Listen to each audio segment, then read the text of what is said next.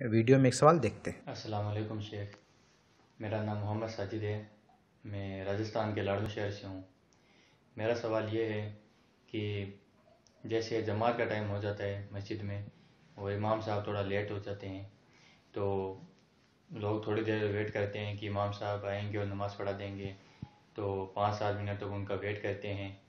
तो ये तरीका सही है या फिर टाइम होते ही नमाज़ पढ़ाना चाहिए किसी को भी। ये राजस्थान से हमारे साजिद भाई हैं, इनका सवाल ये है कि अगर कहीं पे जमात का वक्त हो गया है और इमाम साहब तशरीफ़ नहीं लाए पाँच सात मिनट हो गया तो लोग खड़े होकर इंतज़ार करते हैं। तो ऐसे मौके पर जब इमाम ताख़ीर कर दे पहुँचने में तो खड़े होकर इंतज़ार करना चाहिए, या कोई भी आगे बढ़ के नमाज़ पढ़ा सकता है। तो देखिए, जहाँ तक जवाज़ की बात है, अगर इमाम ने काफ़ी ताख़ीर कर दी है, और किसी ने आगे बढ़ के नमाज़ पढ़ा दिया है तो कोई मसला नहीं है, लेकिन फिर भी कुछ हदीसें ऐसी हैं जिनसे पता चलता है कि बेहतर बात यह है कि इमाम साहब का इंतज़ार किया जाए। अगर इमाम साहब कभी कभार ऐसा करते हैं तो। और अगर बार बार वो ऐसा करते हैं तो आजकल तो इमाम जो है बाकायदा तय किए जाते हैं, बाकायदा सैलरी पे उनको रखा जाता है तो उनकी तंबी होनी चाहिए अगर वो नहीं पहुँच पा रहे तो।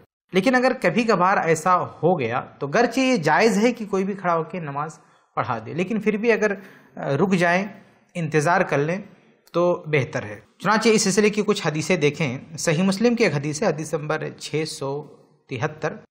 इसमें अल्लाह के नबी सल्लल्लाहु अलैहि वसल्लम फरमाते हैं वल्ला या उम्मन रजुल अर्रजुला फ़ी सुल्तानी कि किसी की मौजूदगी में कोई आदमी इमामत ना कराए। यानी अगर कहीं पर कोई शख्स मुतन इमाम है तो उसकी इजाज़त के बगैर दूसरे को आगे नहीं बढ़ना चाहिए। लेकिन यहाँ जो आपने सवाल किया असल में मसला ये पड़ जाता है कि इमाम नहीं पहुँच पा रहा है। तो यहाँ पे ये गुंजाइश निकलती है कि चूँकि वो नहीं पहुँच पा रहा बहुत सारे लोग इंतज़ार कर रहे हैं किसी को ताख़ीर हो रही है किसी को कोई मसला है तो कोई आगे बढ़ के पढ़ा दिया को, तो कोई मामला नहीं। लेकिन अगर इमाम मौजूद है बर वक्त मौजूद है तब तो कोई गुंजाइश नहीं है कि कोई दूसरा आगे बढ़े। उस इमाम की इजाज़त के बगैर क़तन गुंजाइश नहीं है कि दूसरा कोई आगे बढ़े। अगर मौजूद है तो। लेकिन मौजूद नहीं है तो गुंजाइश निकलती है। क्योंकि यहाँ पे एक उज्र है कि मौजूद ही नहीं है ताखिर कर दिया। लेकिन गुंजाइश निकलने के बावजूद भी हदीस के मफहम से मुस्तफ़ाद होता है कि बेहतर यह है कि अगर मुमकिन है तो इंतज़ार कर लिया जाए। क्योंकि इमामत के लिए एक शख्स मुतन है, बल्कि एक हदीस से इसकी तायद भी होती है। और सही बुखारी की हदीस हदीस नंबर आठ सौ सैंतालीस। अनस बिन मालिक रज़ी अल्लाह हदीस के रावी हैं। कहते हैं कि अखरा रसूल सल्लल्लाहु अलैहि वसल्लम असलात ज़ात लैलतिन इला शत्र लैल। कहते हैं कि एक रात अल्लाह के नबी सल्लल्लाहु अलैहि वसल्लम ने नमाज़ पढ़ाने में ताखीर कर दी। ताखीर से आप आए नमाज़ पढ़ाने के लिए, आधी रात तक आपने ताखीर कर दी। सुम खरज अलैना। फिर आप सल्लल्लाहु अलैहि वसल्लम हमारे दरमियान आए, बाहर निकल कर आए इमामत के लिए। फलमा सल्ला अकबल अलैना बेवजी जब आप सल्लल्लाहु अलैहि वसल्लम आधी रात को आए और आपने नमाज़ पढ़ाई तो नमाज़ पढ़ाने के बाद हमारी तरफ़ मुतवजी हुए फ़काल और कहा इन अन्नासा कद सल्लु व रकदू। कि लोग नमाज़ पढ़ चुके और सो चुके। यानी कुछ लोगों ने नमाज़ पढ़ ली और सो गए।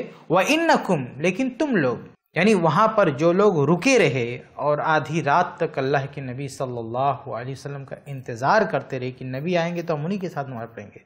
तो आप सल्लल्लाहु अलैहि वसल्लम ने उनके बारे में फरमाया कि वह इन्नकुम लन तजालू फ़ी सलातिम मन तजर तुम असलात कि तुम जब तक नमाज़ के इंतज़ार में रहोगे तो नमाज़ की हालत में माने जाओगे। ये बहुत अहम नुक्ता है यहाँ पे।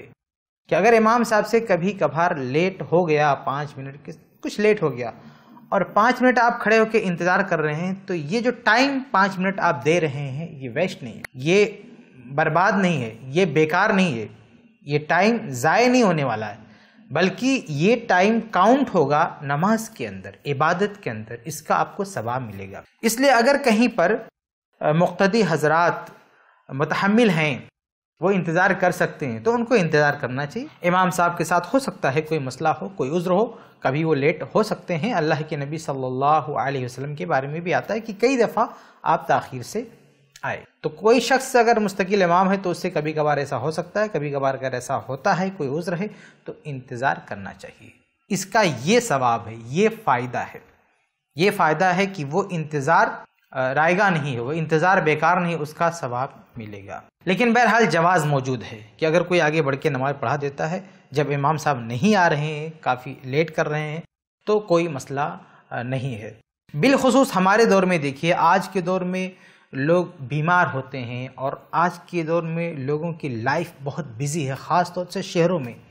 एक एक मिनट उनका बहुत कीमती है। तो ऐसे माहौल में अगर पाँच मिनट या सात मिनट दस मिनट अगर कोई लेट करते ना आए और मुख्तदी खड़े रहें तो बहुत भारी पड़ेगा।